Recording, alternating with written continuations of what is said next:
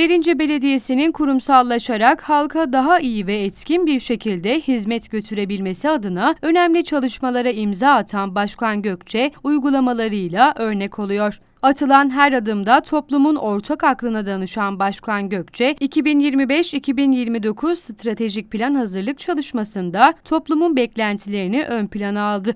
İlk olarak sosyal medya hesapları ve web sitesinde yapılan anket çalışmasıyla vatandaşlar ve sivil toplum kuruluşlarının yeni dönemin planlanmasına yönelik görüş ve önerilerinin alındığı stratejik plan hazırlığı ile ilgili bu kez bir çalıştay düzenlendi. Başkan Gökçe çalıştayda yaptığı konuşmada derincemizi hak ettiği değere kavuşturacak çalışmalarımızı hız kesmeden bir bir hayata geçireceğiz dedi.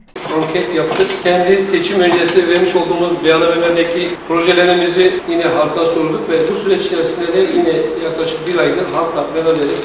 Mahalle toplantılarını yapıyoruz ve burada halkta aldığımız bu sorunları ve çözümleri halk belediyeye nasıl bakıyor, neler talep ediyor, ilerine önerileri ne? Bizim yeni dönemdeki anlayışımızın her zaman söylediğimiz gibi biz daha çok insan odaklı projeler üreteceğiz. İnsan memnuniyeti, halkın memnuniyetinin yüksek olduğu projeler üreteceğiz.